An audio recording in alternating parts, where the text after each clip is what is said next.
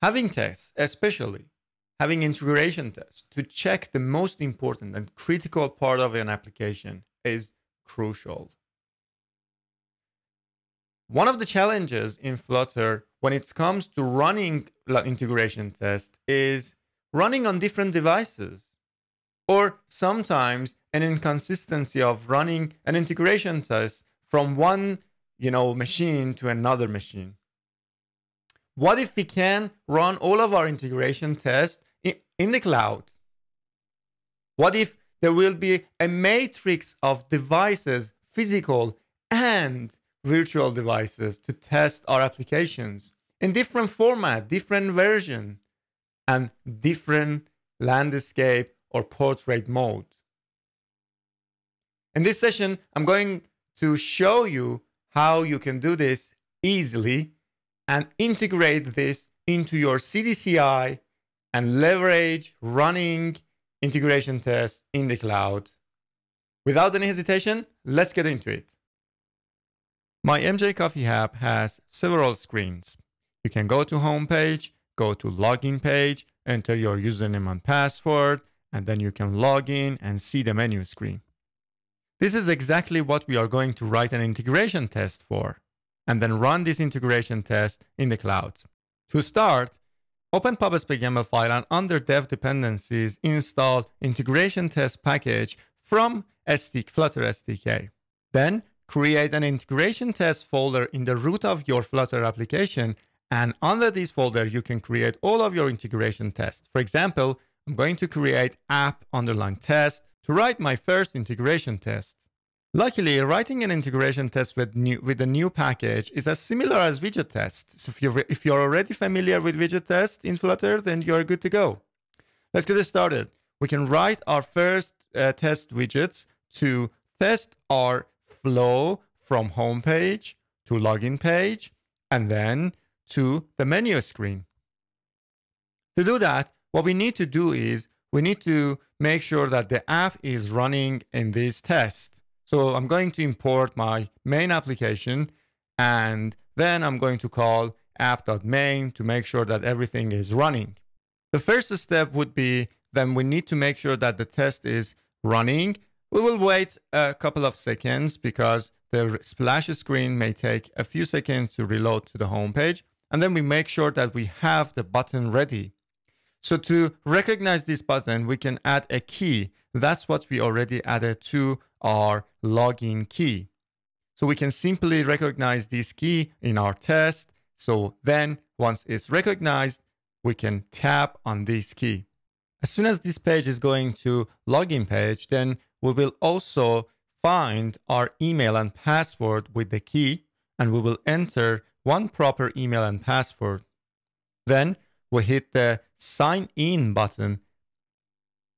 Once the page is signed in, we need to make sure that we are receiving respond. Uh, usually there will be a HTTP request, so maybe five seconds.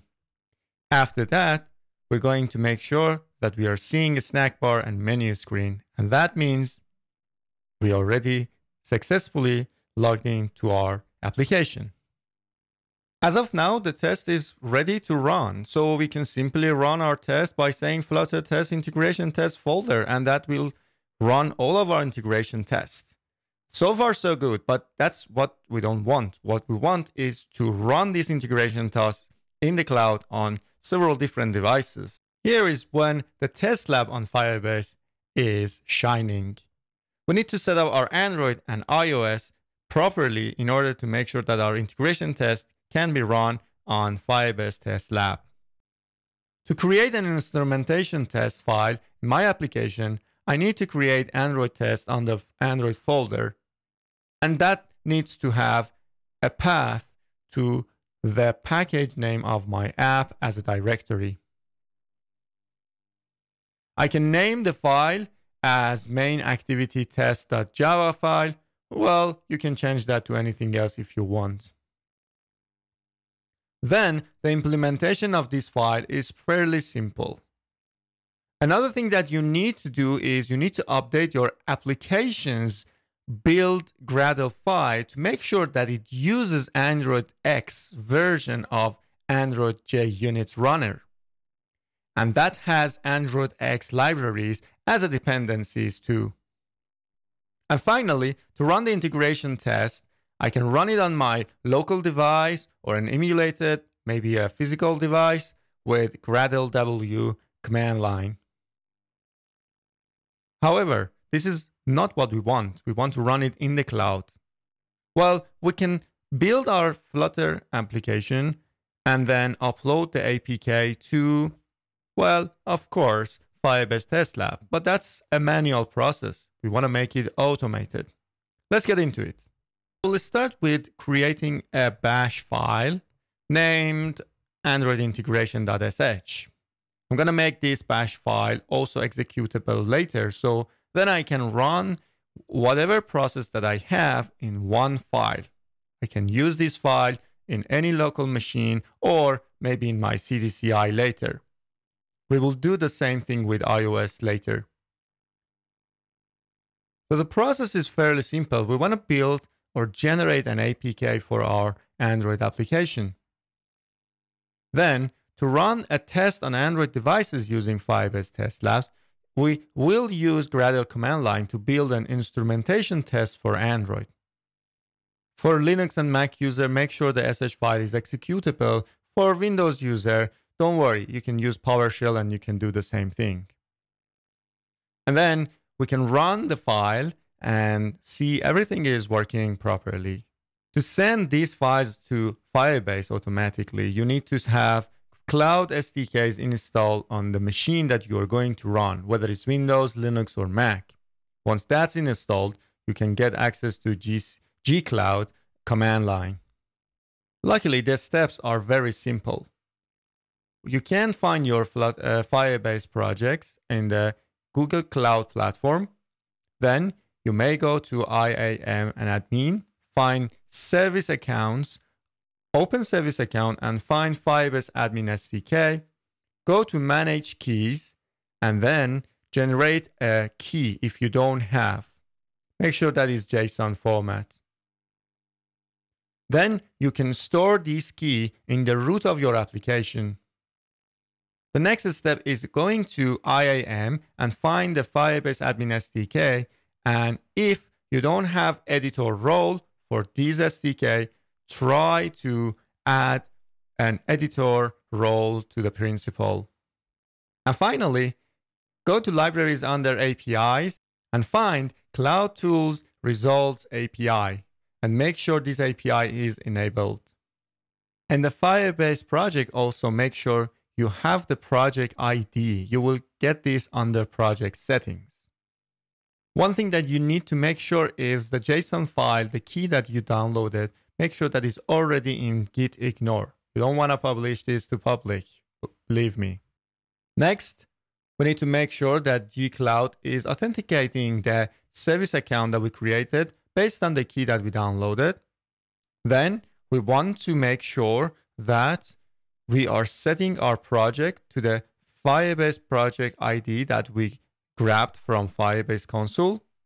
And finally, running the Firebase test Android with gcloud command line, and it will run the instrumentation test pointing to our application, which we have created with Flutter build APK command line. That is enough. However, we will have more options to pass into this command line. For example, we can use orchestrator, which will run the uh, test more efficiently, or timeout. Or what if we can store the result of the test in some kind of storage in the cloud and we can reuse that wherever we want? We can create our buckets in Google Cloud as simple as heading over to the Google Cloud, finding a storage, a cloud storage, and then you go ahead and create a bucket. But one of the good thing about Firebase Test Lab is to create a matrix of devices with different criteria to run our integration test. We want to test in these devices, not in our client's devices. All right, so what we can do, we can definitely pass device IDs, OS versions, different locales, or orientations. And that will create a matrix of devices with different criteria. You can receive all the devices that are available with different formats via gcloud command line. Choose whatever you want and create your matrix of devices. It's time to run the test and see if it's working. After everything is built and properly run, then I go through the uploading phase and it goes and upload the APK to Firebase Test Lab. And that is fantastic because everything is automated right now. After the test is running on all of the devices that I mentioned in Firebase Test Lab, I will receive a result back with either the test is failed or passed to my console. Heading back to the Firebase Test Lab dashboard, you will see all the tests that you are running. You can go and check them out device by device, and you can see all the tests that you have created. Either they are failing or passing or other information. You have all the test cases, performance tab. You have also videos and logs available in the dashboard.